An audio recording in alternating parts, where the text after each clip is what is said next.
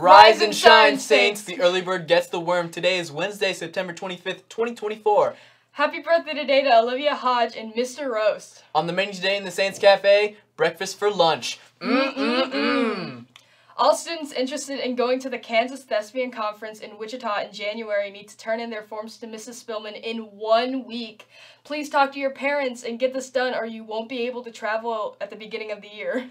The DC March for Life trip still has some openings. Come get the sign-up paperwork from Mrs. Loafman in room 124 or Mrs. Jones in room 216.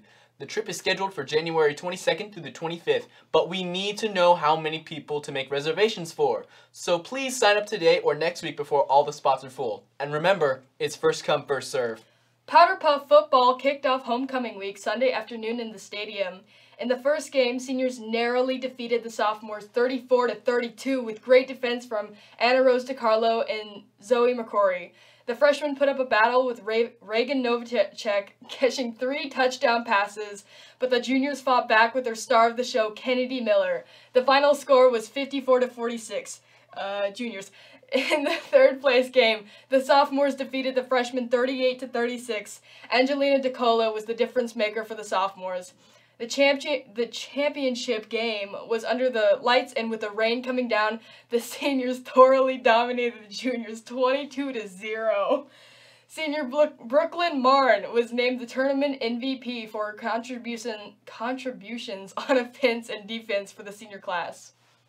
Seniors gained 3 cl class competition points, juniors got 2 points and sophomores only got 1.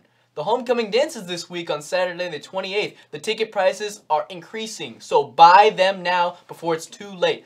The prices for HOCO dance tickets have now increased to $40 per person. Mm. Buy your tickets now for $40. Wednesday is the last day to purchase your tickets online or by using the QR code. Thursday and Friday tickets can be purchased in room 206 using cash or check for $40 per person. Tickets for the musical Footloose are now on sale. Get your tickets before they are sold out at seatyourself.biz slash STA Saints. To all students and staff, there will not be morning mass offered this week. Our priests are currently on retreat and are unable to host. Please pray for our priests. Students! Today we will have a special guest in the theater, Scott Stackhouse, the head of the theater department at Johnson County Community College and professional voice actor, is visiting STA to talk about being a professional voice actor and to do some voice acting work with interested students. Teachers, please dismiss students who plan to attend this session at the very beginning of STA period today. They will not have time to participate in Communion of Saints today. September 15th through October 15th is when we celebrate Hispanic Heritage Month. So every day on Halo until October 15th, we will be giving you a Hispanic Heritage Fun Fact of the Day. Did you know the Spanish language is the most spoken language in the world by native speakers, with over 460 million people speaking it as their first language.